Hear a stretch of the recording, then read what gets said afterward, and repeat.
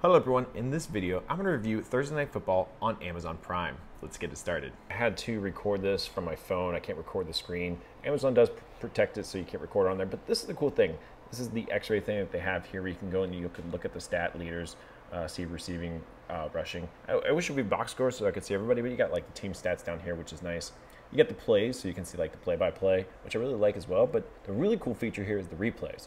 So I can go and click on the replay that I want to watch. This is like Nick Chubb getting the touchdown here. So I can just go over, check it out, and watch the replay.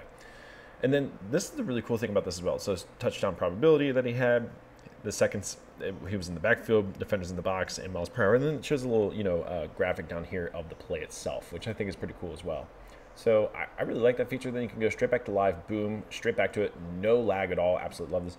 This is another cool feature where you have teams. Uh, so I'm on the Steelers if your buddies are ever talking about the game, you know, you're like, well, uh, you know, when did Chase Claypool get drafted? And like, you know, how, what's his height and weight and what's his career stats? Like, you can easily look that up there, which is really nice uh, to look at in any team. So if you're a diehard football fan, I think you're absolutely going to love this.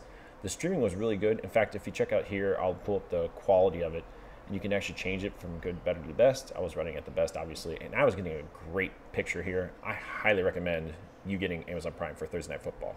Now, all you have to do to watch this is have an Amazon Prime membership. If you already have one, great. If you don't, I have a link down below. You can sign up for it. That's it for the huddle, you guys. If you guys like this video, please hit the like and subscribe button, and I'll see you guys in the next huddle.